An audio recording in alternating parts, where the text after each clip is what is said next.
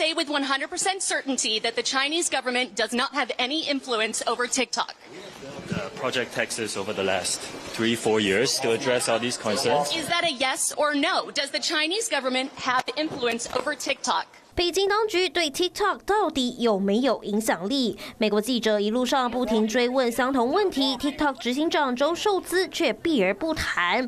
媒体面前保证的话说不出，用户面前却开始打起温情牌。Thank you to our incredible community. You are what makes TikTok so special. Thank you for making your voices heard. Over the last few years, we have invested to keep your data safe and our platform free from outside manipulation. We have committed that we will continue to do so. This legislation, if signed into law, will lead to a ban of TikTok in the United States. 周受资强调坚定保护用户资料和隐私，使用者可能吃这一套，但美国当局不买单。面对国安威胁，就怕中共能借 TikTok 存取敏感用户资料，执意要封杀。The yeas are 352, the nays are 65.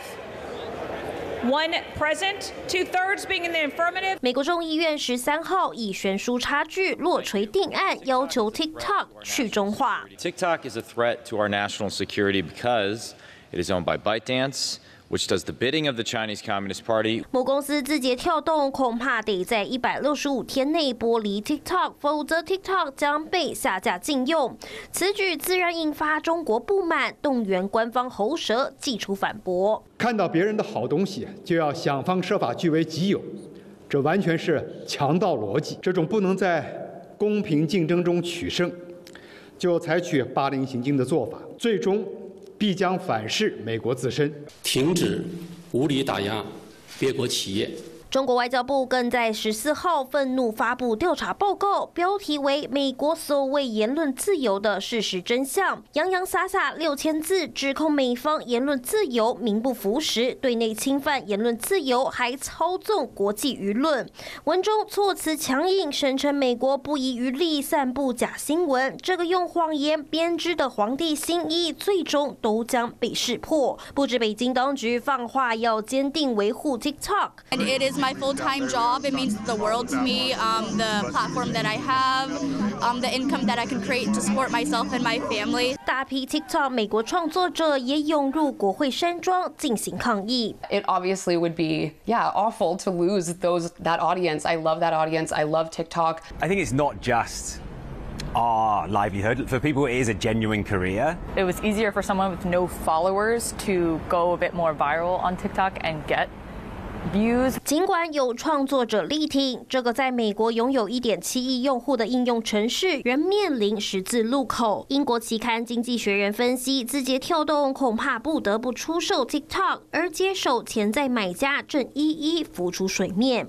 I'm going to put together a group to buy TikTok. You're trying to buy TikTok. I am. 美国前总统川普时期的财政部长透露，正为收购做准备。除了他之外，《华尔街日报》报道，游戏公司动视暴雪前执行长传出有意愿，OpenAI 执行长阿特曼可能也想召集科技界收购 TikTok。而甲骨文公司作为 TikTok 美国数据托管方，也被猜测可能成为买家。而经济学人则分析，美国电商巨擘亚马逊、苹果、微软和串流平台 Netflix 也有可能考虑收购。但这些美国企业巨头如果动了心，可能也免不了反垄断法审查。只是这项法案要想确实成为法律，还需经过参议院通关，再交由总统拜登签署。We know that the Chinese government does demand things, but we don't know that any information really is going from TikTok to any of these people in China. 共和党参议员保罗已表明将当下任何可能让言论自由受损的法案。参议院能否过关仍不明朗，未来法案还有可能进一步遭遇违宪挑战。It's very disappointing for us. It's going to impact 170 million Americans who use our app. It's going to impact 7 million small businesses, and I hope their voices are heard. 除了美国本土社群公司能因为获得从 TikTok 转移出的广告收入而受益，周受资提醒，法案一旦实行，将重挫 TikTok 创作者和中小企业生计，损失将高达数十亿美元。美中 TikTok 之争短时间内不会落幕，尤其美国大选将近，选民心声和国安之间，政府将如何取得平衡，成为空前难题。华视新闻综合报道。Hello，我是雷亚。想要抢了先掌握最及时的新闻资讯吗？赶快订阅、按赞、开启小铃铛，锁定华视新闻 YouTube 频道。